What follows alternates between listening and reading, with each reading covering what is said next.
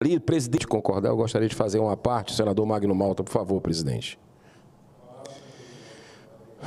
Olha, depois da volta do senador Magno Malta aqui a esse plenário, é a primeira vez que eu estou fazendo uma parte a ele, ele fez uns dois ou três discursos, e eu faço com muita gratidão a Deus, porque uma das inspirações que eu tenho na política é esse senador que já foi deputado federal, que tem uma trajetória de muito valor, de muito princípio, sobretudo coragem para enfrentar as pautas que ele acredita. E você vai colaborar muito, senador Magno Malta, já está colaborando e com esse, com esse Senado Federal, essa casa centenária. O Brasil hoje está dividido, sim, o senhor tem razão. E as pessoas que tomaram o poder, que estão no poder hoje, elas colaboram para esse acirramento ficar cada vez maior. Parece que a eleição não terminou.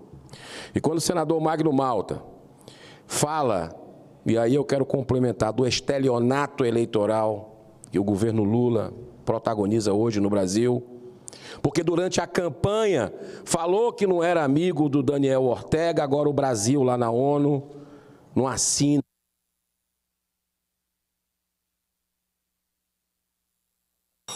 Não assina uma moção contra as barbaridades que estão acontecendo naquele país, perseguindo cristão, perseguindo jornalista, caçando a liberdade de expressão. Senador Magno Malta, o senhor tem sido um defensor do que é correto. As pessoas que erraram durante esses ataques, esses atentados deploráveis que aconteceram no dia 8 de janeiro, nessa casa e na casa aqui vizinha, na Câmara dos Deputados, elas devem ser punidas sim, com rigor da lei. Seja de direita, seja de esquerda, seja infiltrado, quem por ação ou por omissão, e aí a CPMI, eu quero dizer que nós não podemos demorar aqui não, hein? O presidente dessa casa tem que ir urgente, porque a sociedade lá fora cobra o senador que anda na rua. Cadê? Cadê a verdade? Vocês não vão atrás da verdade? Então tem uma CPMI que tem um número de assinaturas de deputados federais e de senadores suficientes para ser aberta imediatamente. É só ter uma sessão, é só o presidente convocar. E nós vamos entender ali a verdade. E sabe por que tem que ser feito Câmara e Senado? Porque as duas casas foram atacadas. Isso é legitimidade, presidente. Legitimidade. Agora, tem deputado denunciando aí que o Palácio do Planalto tá, a gente viu já na imprensa, tá coagindo parlamentar, tá oferecendo emenda ou dizendo que não vai pagar as emendas constitucionais. Que é isso? Que é isso?